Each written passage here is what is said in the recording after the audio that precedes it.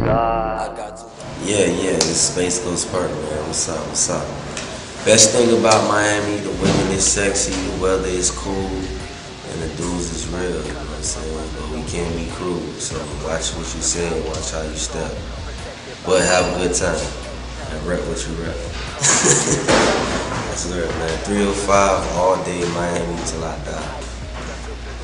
You was a nice, beautiful young lady, you know, I'll take you to, uh, I'll take you to my house first. We go home and watch Garfield and shit. And, uh, and then if you want to get something to eat, we can go to uh, this place called Snappers. It's a nice seafood restaurant. Go eat anything. They got all types of seafood there. They got fried shrimp, they got fried cum, they got everything. So, but shit, we can go do that, around, we go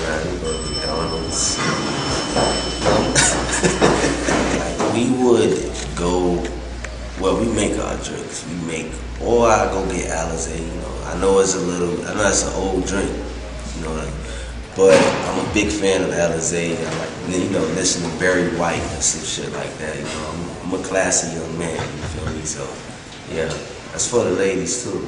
Let's do that